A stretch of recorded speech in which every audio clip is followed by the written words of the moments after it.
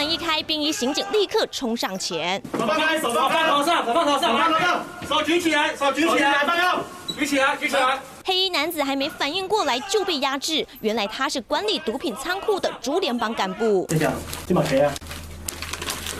啊，这把谁啊？毒品用茶叶包装，掩人耳目。警方一共查获安非他命和 K 他命，市值将近上亿元。这个是啊，加工。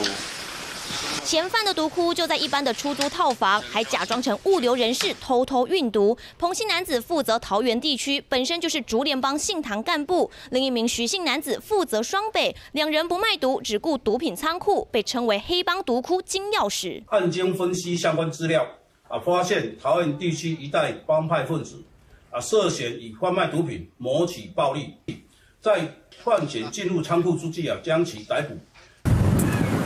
就快要跨年，嫌犯还故意锁住毒品货源，提高价格，想要大赚一波。如今毒窟被抄，人也被逮捕收押，只能在看守所度过新年。三立新闻顾元松、林玉君台北采访报道。